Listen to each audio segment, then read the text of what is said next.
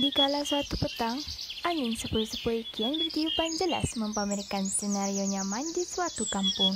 Kedengaran hiruk pikuk tiga sekawan yang asyik bermain ting-ting, yakni Orchid yang merupakan seorang pelajar cemerlang dalam subjek biologi, Melur pula seorang yang arif subjek kimia, manakala Melati mahir subjek fizik.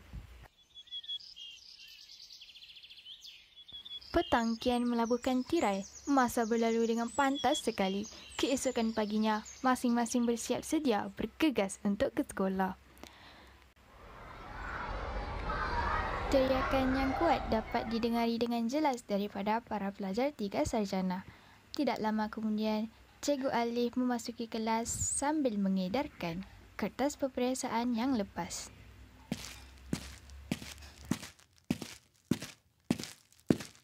Setibanya waktu rehat, Cikgu Alif mengingatkan Orchid Melati dan Melur untuk berjumpa dengannya di bilik guru.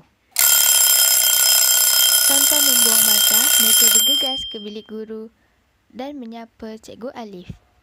Cikgu Alif mengutarakan beberapa soalan mengenai keputusan peperiksaan mereka bertiga.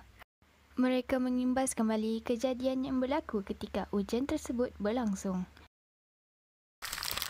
Melur selaku seorang pelajar yang ahli dalam subjek kimia telah memberikan jawapan kepada kedua-dua rakannya ketika itu.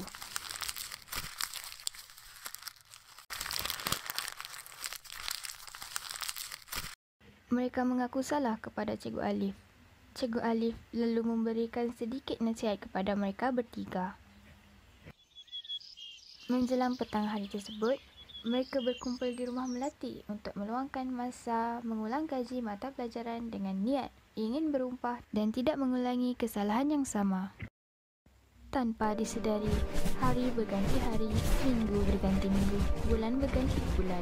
Hari peperiksaan telah pun berlalu.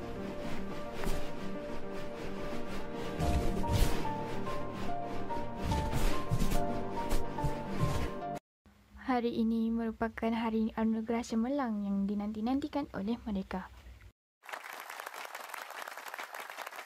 Mereka sangat gembira kerana nama mereka telah dipanggil selaku murid cemerlang pada semester itu.